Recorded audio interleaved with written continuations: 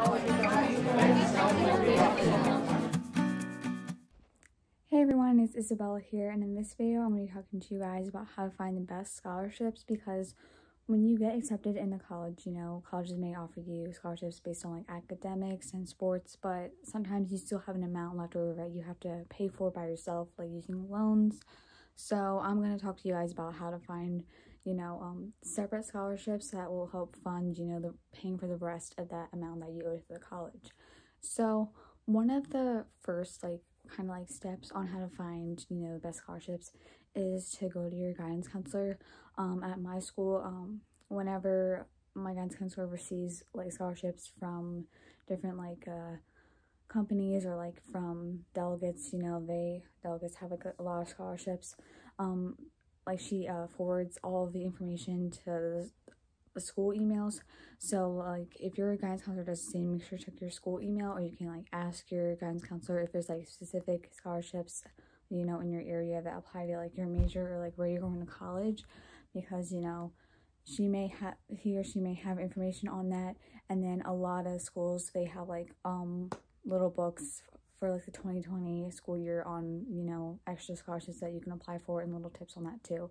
So i would definitely go to your guidance counselor because they could have a lot of information on that to you know assist you in making sure that you apply for scholarships that suit you know your needs and will you know get you the like the most and the best money.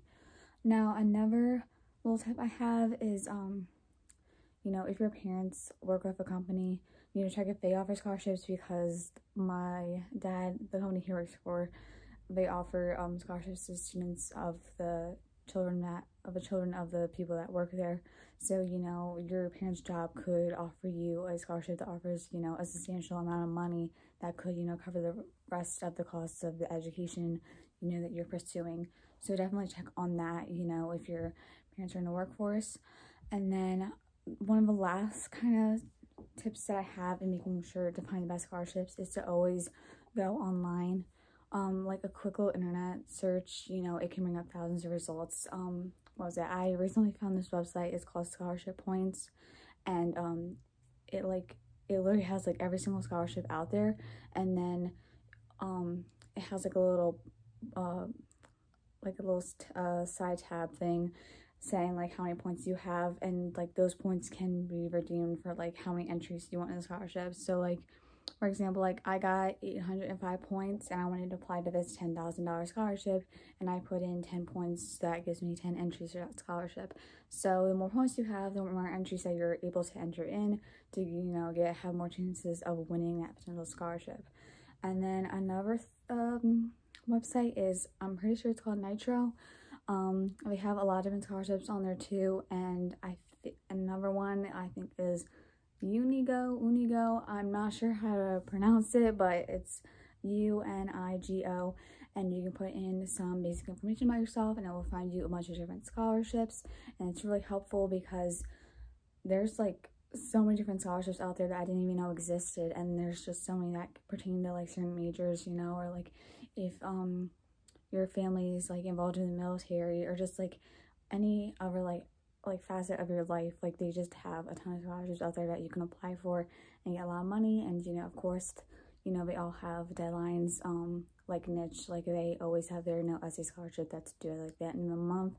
So you know i also recommend niche as well because they have a lot of different um scholarships on there and like they lead you to the website or a company that's doing it so I definitely recommend those. Like I really recommend going online and searching because you know, sometimes you're not like given like the like everything with scholarships. Like you're given like some to apply for like through school and stuff. Like they offer you some, but you know, you're not given like everything. Like you have to kind of go on your own and search for it.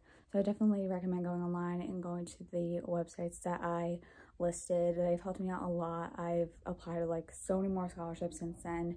But a main thing when you're applying for scholarships, um, a lot of times online, they don't like require you to have, you know, like an actual application, you know, maybe they just need like some basic information about you.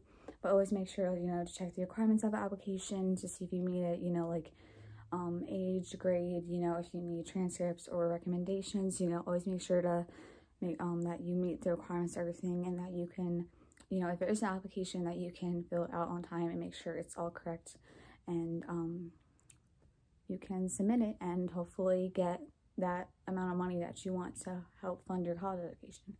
So that was all the little tips like and steps and how to find the best scholarships.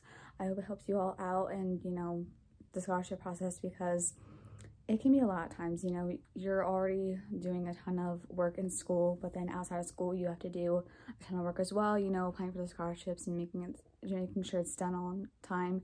So I hope these tips kind of help make it easier, you know, because the process can be stressful at times, but you know, if you are just like on top of everything and you know like which ones you're going to apply to, hopefully it will be a lot less stressful and easier. So I hope you guys enjoyed this video and I'll see you guys next time. Bye.